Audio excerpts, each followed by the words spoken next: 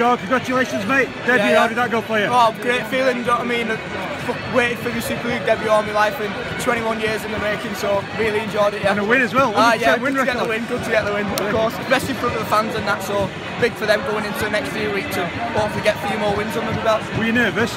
A little bit nervous, yeah, but excited as at the same time. Do you know what I mean? It's just a, it's just a game of rugby and just got to enjoy yourself as best as you can. Put your head down tonight now. Yeah, straight up yeah, it. yeah, Cheers, mate. All Yeah, cheers, thank you.